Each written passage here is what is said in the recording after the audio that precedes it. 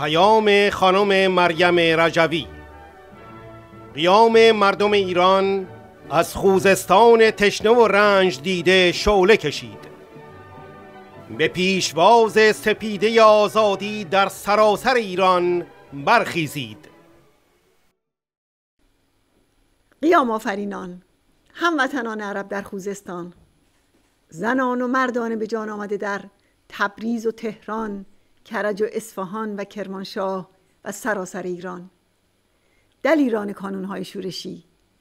خواهرانم برادرانم پسران و دخترانم.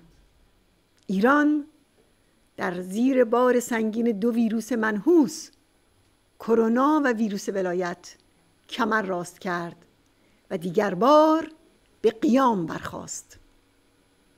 ایران تسلیم نمی شود ایران ذلت نمیپذیرد. در خوزستان چو عضوی به درد آورد روزگار در ایران دگر عضوها را نماند قرار. از آذربایجان و کردستان تا لرستان و خراسان و سیستان و بلوچستان و بختیاری و اصفهان. آنچه را که خامنه نزدیک به یک سال و نیم با بازگذاشتن عمدی راه گسترش کرونا می‌خواست از آن جلوگیری کند به وقوع پیوست. به گفته خودش می‌خواست از کرونا فرصت بسازد. فرصتی برای بقای رژیم با کلان تلفات و سپر انسانی.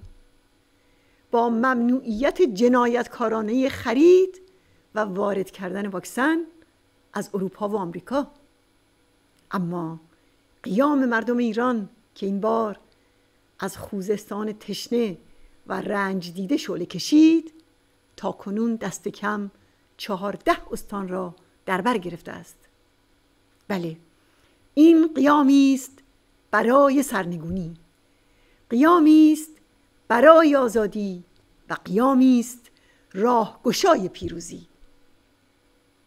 به نسل شورشگری که انتخاب کرده که هیئت حاکمه خونخوار و مرتجع و دزد و فاسد رو به زیر بکشد و یک جمهوری دموکراتیک و آباد و آزاد در ایران برقرار سازد هزاران درود.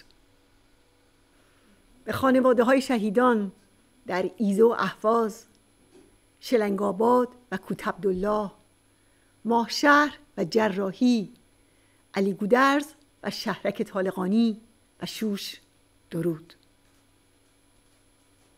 این شهیدان فدیه های آزادی مردم ایرانند.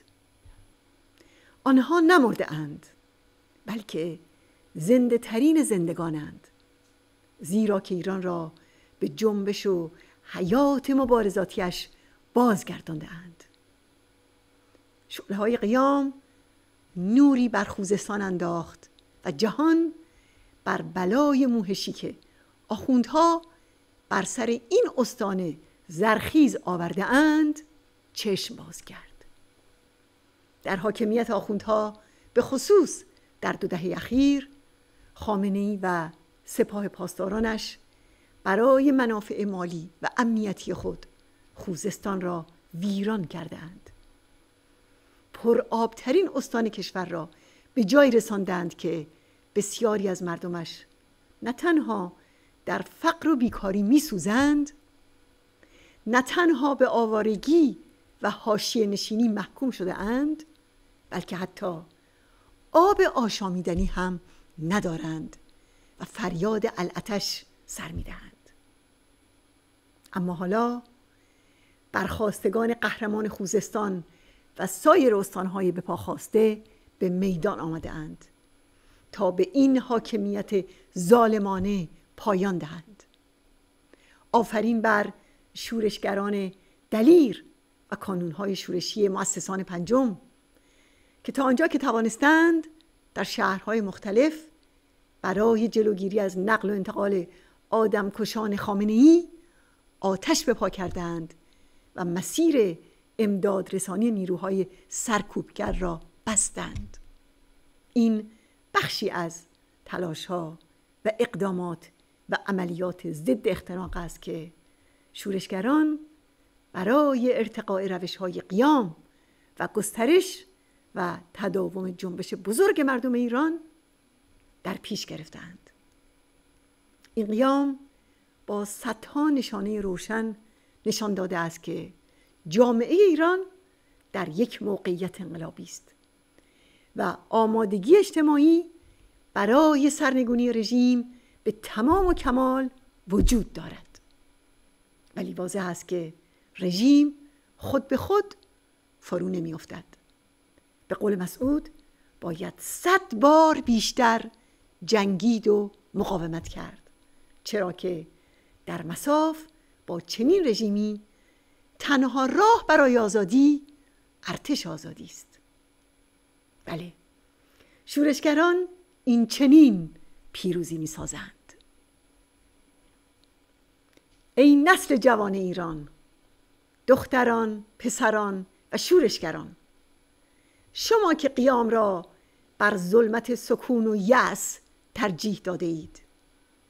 شما که گوهر ارزشمند آزادی را قدر می‌شناسید و برای آن می جنگید تقدیر تاریخ ایران در پایان یک قرن جور و ستم برای یک جمهوری آزاد و آباد در دستان شماست. قیام شما از خوزستان تا تهران و تبریز و اصفهان شکوه ایستادگی ملتی است که ذلت نمیپذیرد. داستان تاریخ ما قیام است و ایستادگی. داستان خلق شورشگری که از قلب تبریز با سلاح ستارخان و مبارزان مشروطه برای یک میهن آزاد و مستقل می جنگد. در شمال ایران پرچم کوچکخان و رزمندگان جنگل را به احتزاز در می آورد. و در سی تیر در حمایت از مصدق پیشوای نهضت ملی ایران به قیام برمیخیزد. و در این رزم پر افتخار به مجاهدین و مقاومت ایران می‌رسد و با راهبری مسعود علیه ظلمت شاه و شیخ شعله می‌کشد.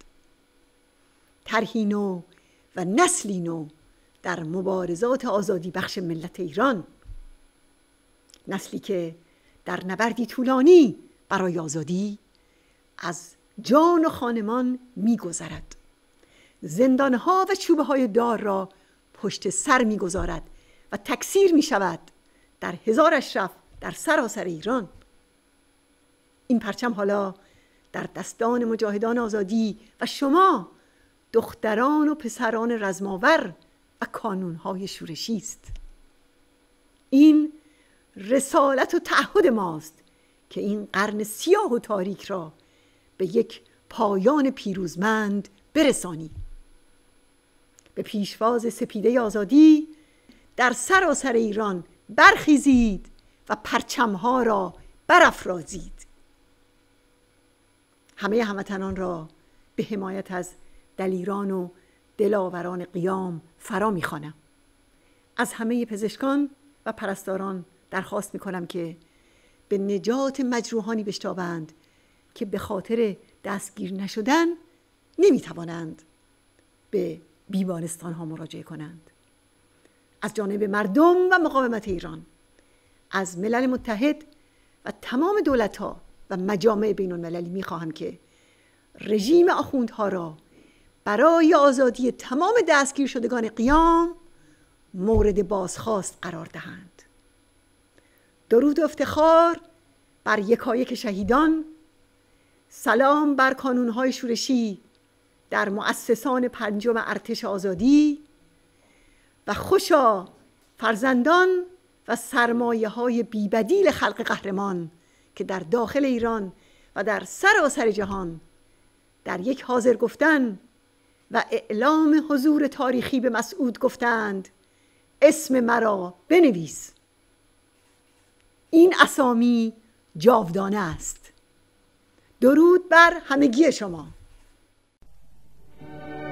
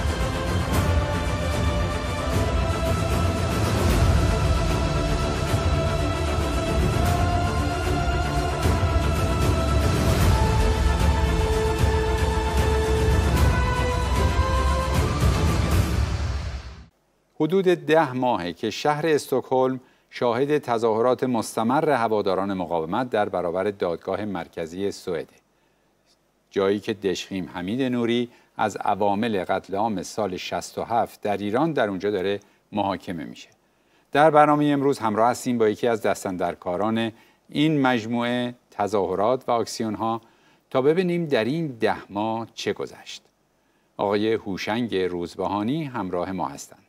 سلام می‌کنیم خدمت شما آقای روزبهانی و تشکر می‌کنیم از اینکه تونستید در برنامه روی خط ایران به ما بپیوندید. با سلام خدمت شما و بینندگان عزیزتون و با سلام خدمت کانونهای قهرمان شورشی که بخصوص در همین امروز ضربه مهلکی به رژیم ضد بشری خمینی زدن و در کلا همین چند ماه گذشته ضرباتی از این گونه بسیار بسیار به این رژیم زدن و مایه امید و سرفرازی مردم ایران و عشقشون به آزادی و اینی که قطعا امیدوارم که سرنگونی رژیم قطعی و هرچه زودتر بشه. و همچنین اجازه می‌خوام به دانشجویان عزیزی که دیروز بعد از مدت ها همونجوری که گفتم به علت تعطیلی دانشگاه بر اساس کرونای ولایتی که بود و مسائلی از این قبیل یک سکوت نسبی رو داشتن به قیام قهرمانانه دست دادن که قطعا و یقینا در روزهای آینده به طور گسترده تری این ادامه داره چون که دانشگاه واقعا مظهر آزادیه و از اون سربدارانی که در دانشگاه ها بودن و سربدار شدن و قهرمانانه ایستادن و همین در واقع ماهی بود که این رژیم ضد بشری حمله کرد تحت عنوان انقلاب فرهنگی و دهها دانشجو رو کش و بعدا هم دانشگاه رو بست. این دانشجویانی که جدیدن هستند و به هر صورت اون موقع شاید خیلی های اینها نبودن ولی از اون قهرمانان الگو گرفتن و قطعا این مبارزه اینها و ترکیب اینها با مبارزه دیگر اخشار آگاه جامعه از جمله فرهنگیان راه به سرنگونی این رژیم جهل و جنایت خواهد بود. من در خدمت شما هستم. بله با تشکر و بسیار خوب شد که شما اشاره کردید به تظاهرات اعتراضی دانشجویان دانشگاه علم و صنعت در شروع. بسیار بجا بود. آقای روزبانی شما در فصل تابستان تجمع و حضور خودتون مقابل دادگاه محاکمه دشخیم حمید نوری رو شروع کردید. تابستان سپری شد پاییز و زمستان هم رفت و الان ماه اول فصل بهاره داریم پشت سر می‌ذاریم. شما در این مدت که هر روز جلسه دادگاه اونجا بوده و شما هم حضور داشتید می‌خواستم سوال کنم با چه مشکلاتی روبرو بودید و چطور این مشکلات رو حل کردید؟ بله همینجوری که فرمودید دقیقا امروز نه ماه و نیمه که ما در جلوی دادگاه بودیم به جز در واقع از این هشتاد و شیش جلسه به جز چند جلسهش که مزدور نفوذی رژیم ایرج مستاقی و چند تا از دوستان اون بودن سه چهار نفر بقیه روزها اون روزها ما آکسیون های بزرگی در جلوی پارلمان داشتیم ولی بقیه این روزها در جلوی دادگاه ما آکسیون داشتیم.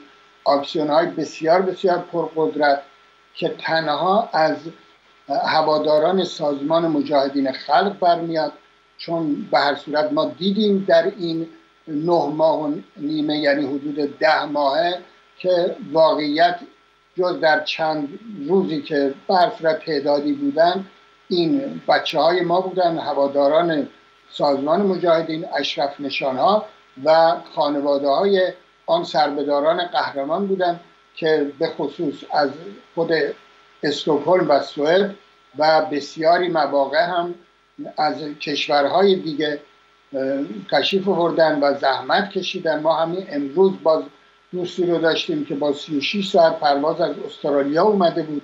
ما از کانادا داشتیم که اومدن که خب به خصوص در این دوران کرونا شرایط بسیار سختی بود. تست و آزمون و گاهن تستشون تاخیر می‌خورد باطل می‌شد دوباره بلیط بگیرن مسائل هتل و زحمات زیادی واقعا کشیدن. ولی بر صورت عنصری که خواهان آزادی خلق ستم دیده است و می‌خواد این رژیم جنایتکار رو سرنگون کنه و یاد اون قهرمانانی میفته که به صورت در اون سیاهچال ها با این رژیم خمینی در افتادن و به برای حتی جانشون هم چانه نزدن و مرگ, مرگ سرخ رو در تسلیم ترجیح دادن قطعا این افراد خانواده اونها و دوستداران اونها و اشرف نشان ها هم از اونها الگو می‌گیرن. همچنانی که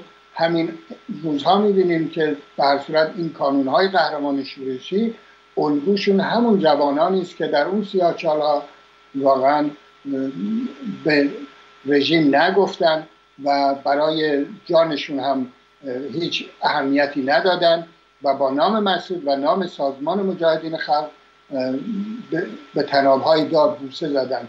و رژیم هم هر کاری کرد که به صورت من می‌دیدم تو این دادگاه هر کاری کرد که حتی یک نفر رو هم به تسلیم وابداره نتونست و اونها قهرمانانه این راه رو ادامه دادن و می‌بینیم نتایجش رو واقعا در همین روزها به خصوص در کانونهای قهرمان شورشی و در همین دانشجویانی که می‌بینیم در صورت اینها میگه گذشته چراغ راه آینده است و این جوانان انقلابی که ما امروز می‌بینیم الگوشون همون قهرمانان هست. از اونها گرفتن همچنانی که خود در صورت ما که در اون دوره بودیم اون قهرمانان هم از امثال ستار و باقر و کنن پسیان و در صورت مسعود و موسا و اون دیگران الگو گرفته بودن و اون راه رو تا به آخر رفتن.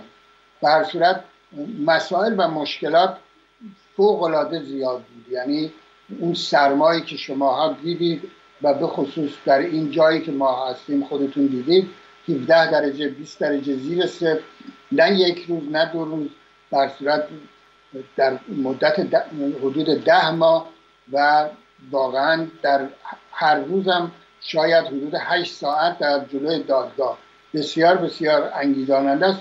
مقاومت این دوستانی که واقعا الان تصاویرشون رو می‌بینم که عموما هر روز با مسائلی که داشتن کار زندگی بالاخره اینجا همه این مسائل هست باید حل و فصل بشه و این, این صورت یاران مقاومت و خانواده های آن سربداران تمام این مسائل رو حل کردن به نفع مقاومت و ایستادگی. و واقعا من به نوبه خودم درود میفرستم به تمام این عزیزانی که صورت در این ده ماه حضور داشتن. و قطعا کارشون نتیجه خواهد گرفت و تا همین الان هم نتایج بسیار بسیار ارزشمندی داشته این دادگاه و تاثیراتش در به خصوص داخل ایران که می‌بینیم و همینجا هم که تاثیرات زیادی داشته. بله. آقای روزبانی اتفاقا سوالم که می‌خواستم بپرسم سوال بعدیم راجع به همین موضوعی بود که شما در پایان بهش اشاره کردید. واضحه که شما قریب به ده ماه در اونجا حضور داشتید. ده ها رشته تظاهرات که فکر می‌کنم بیش از هفتاد تظاهرات حداقل برگزار کردید. اتفاقا می‌خواستم بپرسم که در مورد تاثیراتی که این تظاهرات و این اعتراضهای شما داشته آیا توضیح بیشتری دارید؟ بدید؟ بله همینجوری که فرمودید ما اون هفتاد تا جلوی دادگاه ولی شاید هم بیشتر بوده ولی کلا 86 جلسه ما تظاهرات داشتیم. چند روزش جلو پارلمان بوده که همین خواسته آزادی و عدالت اجتماعی به خصوص محاکمه قاتلان آن سربداران و به محاکمه کشیدن خامنه رئیسی و بقیه دستندرکاران اون جنایت هولناک و ضد بشری رو ما در جلوی پارلمان فریاد زدیم. قطعا این خیلی تاثیر گذاشته. ما هر روزه می‌بینیم اهالی که در صورت از اونجا رد میشن وای میسن سوال می‌پرسن. شما تصور کنید حداقل روزی ده 15 نفرم که این سوال بکنن. حالا غیر از مدیایی که این رو پخش می‌کنه غیر از مسائلی که بر صورت تلویزیون اینها گاهن پخش کرده روزنامه هاشون مطالبی نوشته ولی همین افرادی که تردد دارن اونجا محل شلوغیه و اینها رو می‌بینن تاثیرات بسیار بسیار شگرفی داشته و به خصوص وقتی که صحبت میشه با مردم اینجا راجع به همین مسائل مقاومت بسیار بسیار تاثیرگذار بوده و خب قطعا ما تاثیرات این رو در داخل ایران و همین کارهای قهرمانانه که کانونهای شورشی می‌کنن بدون تاثیر از اینها نیست و به همین روزهایی که ما می‌بینیم که تاثیراتی که روی به صورت مسائل حقوق بشری تو ژنو توی دادگاه های بین المللی و به خصوص اون 600 خورده نفر از کارشناسان مهمی که نامه ای را امضا کردن. و از روزی که اسما جهانگیر اومده که من خودم خدمتشون رسیدم به عنوان خانواده این شهدا و وارد کردن این رو در نامه های حقوق بشر بین المللی سازمان ملل که قتل عام 67 رو به عنوان در واقع جنایت علیه بشریت نام بردن و ادامه داشته و این هر روز داره گسترده تر میشه و رژیمی که می‌خواست این شهدای قهرمان رو شبانه در واقع در گروه های جمعی خواب کنه و هیچ گونه تا سالها انکار می‌کرد الان هر روز مجبور بیاد و یک جوری اینها رو توجیه کنه و حتی خودشون هم اعلام کنن که بر صورت اشتباهی شده. ولی این جانیان حتما باید به دادگاه های بین المللی کشیده بشن و قطعا من امیدوارم و خیلی هم با توجه به تمام مسائلی که می‌بینیم امیدواریم که این دادگاه آخرین دادگاه در خارج کشور باشه و دادگاه های اصلی به زودی زود دادگاه رئیسی خامنه و دیگر جنایتکاران در دادگاه های مردم ایران در داخل ایران برگزار بشه که به هر صورت بسیار بسیار تاثیرگذارتر خواهد بله قطعا این بسیار بسیار اثرگذار بوده توی اینجا و مجامع بین المللی به خصوص. حتما تاثیر یک من در... تشکر می‌کنیم آقای روزبهانی از وقتتون و اینکه تونستید در این برنامه توضیحات خودتون رو بدید. براتون آرزوی موفقیت داریم. من هم تشکر می‌کنم که من رو به این برنامه دعوت کردیم به امید پیروزی و موفقیت برای سازمان مجاهدین و تمام دستندرکاران سیمای آزاد. بله پیروز باشید. بینندگان گرامی گفتگوی بود با آقای هوشنگ روزبهانی درباره کارزار ده ماهه اشرف نشونها در استکهلم سوئد در مقابل دادگاه دشقیم حمید نوری که توضیحات ایشون رو شنیدیم. به پایان برنامه روی خط ایران رسیدیم. امیدواریم که برنامه امشب مورد توجهتون قرار گرفته باشه. پس تا دیداری دیگه خدا نگهدار همگی شما.